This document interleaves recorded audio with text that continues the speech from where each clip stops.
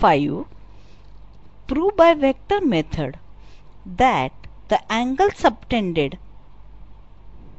by a diameter of a circle at any point on the semicircle is a right angle. Proof. Let segment AB be the diameter of the circle with center C and P be any point on the circle other than A and B. Then angle APB is an angle subtended on a semicircle. Let AC bar is equal to CB bar is equal to A bar and CP bar is equal to R bar. Then mod of A bar is equal to mod of R bar. Let this be equation number 1.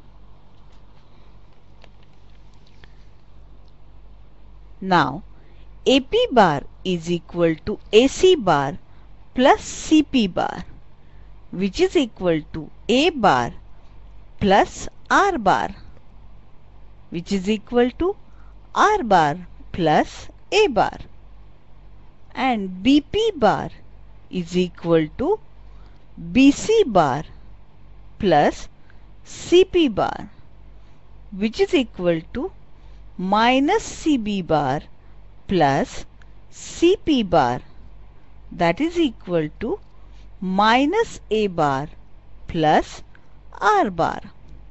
Therefore, AP bar dot BP bar is equal to R bar plus A bar dot R bar minus A bar which is equal to R bar dot R bar minus R bar dot A bar plus A bar dot R bar minus A bar dot A bar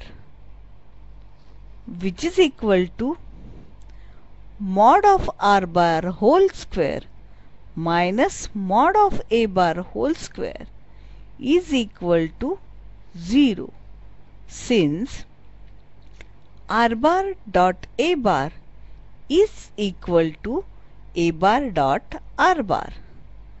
Therefore, AP bar is perpendicular to BP bar.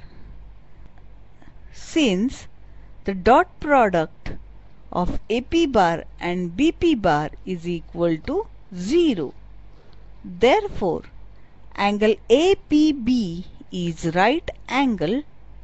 Hence, the angle subtended on a semicircle is the right angle.